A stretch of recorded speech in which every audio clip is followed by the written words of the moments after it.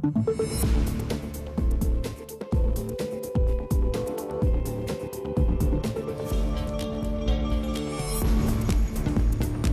Bonsoir à tous et merci d'être avec nous pour euh, une euh, nouvelle soirée sur euh, TV7, une soirée spéciale ce soir, Vinexpo, vous le savez, c'est ouvert au Parc des Expositions faisant de Bordeaux la capitale de la planète 20 pour la semaine. C'est un salon réservé aux professionnels, eh, mais on vous y emmène tout au long de la soirée pour vous faire vivre des débats avec les plus grands experts, pesticides, bio, œnotourisme, tous les sujets seront abordés dans cette soirée spéciale Vinexpo, mais d'abord on jette rapidement un œil sur l'actualité du jour.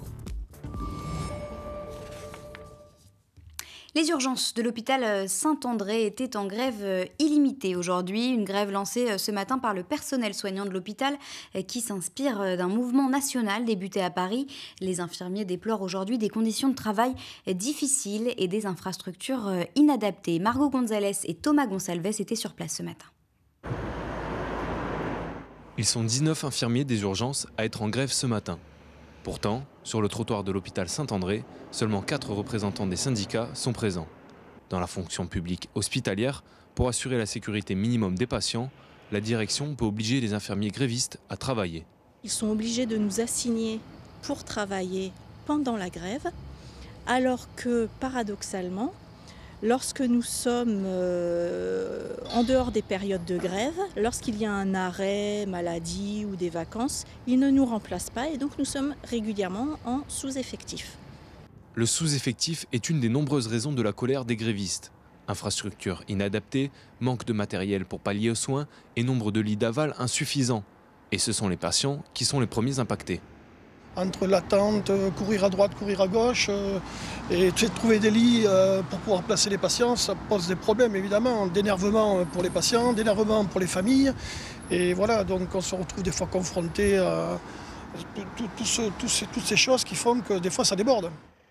Les agents du service des urgences lancent une grève dite illimitée, le temps d'être entendu. La direction affirme, elle, s'être déjà entretenue une première fois avec les délégations, mais sans succès, et prévoit cette semaine une deuxième rencontre en vue de trouver des solutions communes. Voilà, et demain, ce seront euh, les personnels du bloc opératoire de l'hôpital de Libourne qui seront en grève euh, pour dénoncer leurs conditions de travail. Un préavis de grève a également été déposé à l'hôpital euh, Olévêque de Pessac. Dans le reste de l'actualité, des coups de feu dans un campement de gilets jaunes. Les faits se sont produits la nuit dernière à Saint-Macaire. Plusieurs gilets jaunes rassemblés près de ce campement auraient été rejoints par deux hommes qu'ils ont plus tard invités à quitter les lieux. Les deux suspects seraient revenus armés et auraient tiré en direction du campement. Aucun blessé n'est à signaler, mais une enquête a été euh, ouverte. Et puis une information judiciaire ouverte après la découverte du corps de cette femme euh, tuée de 40 coups de couteau à Saint-Aubin du Médoc. Euh, le principal suspect est toujours en fuite. Il s'agit de l'ancien compagnon de la victime. Le site euh, de Dassault Aviation à Mérignac s'agrandit. C'était aujourd'hui la pose de la première pierre d'un nouveau bâtiment destiné à réunir à partir de 2021 les équipes du groupe, notamment des autres sites de la région parisienne. Des embauches sont également euh, prévues. Cette expansion du site industriel de Mérignac euh, pose par ailleurs la question des transports dans une zone aujourd'hui mal desservie. Dominique Parmentier. En guise de pose de première pierre, un jeu de construction. Les élus présents n'ont pas manié la truelle, mais emboîté chacun un cube. Le PDG de Dassault Le Toit, de la maquette du nouveau bâtiment qui s'élèvera sur ce terrain juste en face. Une construction de près de 26 000 m2 sur quatre niveaux est destinée à réunir ici à Mérignac les collaborateurs du groupe va réunir l'ensemble des équipes pluridisciplinaires du domaine de la conception et, et du soutien des avions des plateaux. C'est-à-dire des plateaux, c'est quoi? Ce sont des espaces dédiés qui permettent aux équipes, pendant des phases très prédéterminées du projet, de chaque projet, de travailler ensemble, quelles que soient leurs origines de concepteurs, fabricants, euh, soutien d'avions, etc. Pour que, dès le départ du projet, dans les hypothèses et dans le lancement des projets, tous les besoins soient bien pris en compte. On a commencé un certain nombre de transferts d'équipes de Saint-Cloud vers euh, Mérignac ou de Argenteuil vers Mérignac, c'est déjà en cours.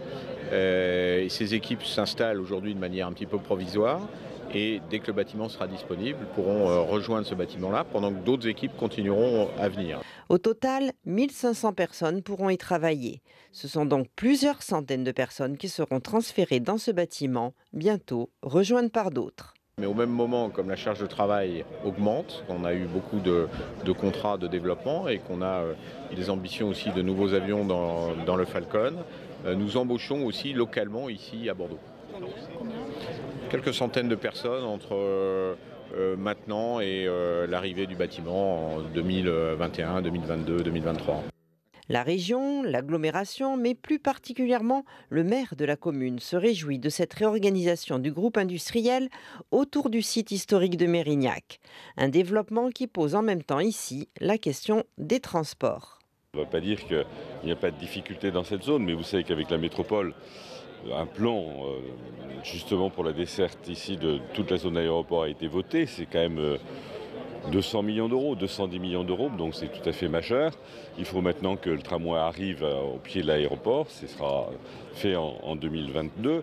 Ensuite, après, on va avoir des aménagements routiers nouveaux qui vont permettre de fluidifier la circulation. Donc il y a beaucoup d'efforts, il y a beaucoup de travail à faire, mais tout ça évidemment pour euh, une réussite qui sera tout à fait méritée pour euh, notre agglomération et beaucoup de chance pour nos habitants. Et du nouveau pour euh, le collectif Aux Arbres Citoyens. Rappelez-vous, il s'était illustré euh, place Gambetta pour défendre les marronniers de l'abattage. Et ses membres ne baissent pas les bras. Ils se sont désormais constitués en association afin de poursuivre son combat pour plus d'arbres en ville. Écoutez.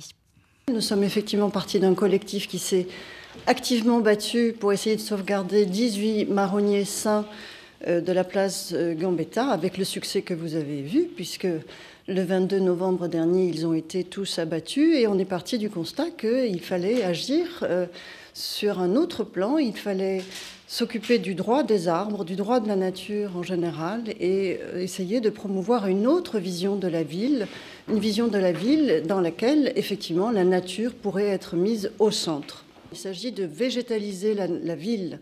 Nous sommes face à des urgences qui sont des urgences climatiques que j'ai l'impression les politiques ne prennent pas en considération de manière sérieuse. Or, les arbres nous rendent de très fiers services, comme on sait. Les arbres sont très importants également pour notre sérénité. On, ne prend pas en considération cette dimension et donc il est très important non seulement de les protéger, mais de développer tout le domaine végétal en ville. Puis c'est ce samedi euh, la 15e édition euh, de la Nuit européenne des musées à Bordeaux. 14 établissements ouvriront leurs portes euh, gratuitement au public. Plus de 30 000 visiteurs sont attendus pour ce rendez-vous nocturne avec cette année un retour vers les 90s. Écoutez. La Nuit européenne des musées à Bordeaux, c'est à la fois une soirée où tous les musées sont gratuits, mais ce n'est pas simplement une porte ouverte dans les musées à la fois on incite à venir dans les musées et on le fait grâce à des propositions nouvelles, parfois un peu décalées, pour aller chercher des publics qui ne viennent pas traditionnellement euh, dans les musées et les établissements culturels. On a choisi pour ça la thématique des années 90, qui est un moment euh, voilà, qui laisse des souvenirs à beaucoup de générations, euh, de choses un peu folles, de liberté. et donc chaque établissement s'approprie la thématique. Il va y avoir des quiz musicaux sur les années 90, des performances, des déguisements évidemment. et on incite d'ailleurs les, visiteurs à venir avec quelque chose qui rappelle les années 90. Et puis, comme il faut un fil rouge aussi euh, dans tous les établissements, eh bien, on a choisi cette année l'album type Panini. On a proposé à un dessinateur euh, agriculture euh, qui, travaille partir d'un outil numérique très années 90, de nous faire des images Panini, type Panini, et on va proposer au public euh, de récupérer une image par lieu culturel afin de pouvoir constituer l'album, tout simplement comme on a tous fait un jour et comme, font encore les enfants aujourd'hui. Voilà. Donc ça c'est un petit peu le, le gimmick, euh, le fil rouge de la soirée, et la thématique c'est les années 90. Voilà pour l'actualité. Tout de suite, direction euh, Vinexpo, le salon professionnel du vin qui a lieu toute cette semaine à Bordeaux et TV7 vous y emmène euh, tout au long de la soirée. Premier débat à suivre dans un instant. À quoi ressemblera euh, le vignoble de demain? Restez avec nous.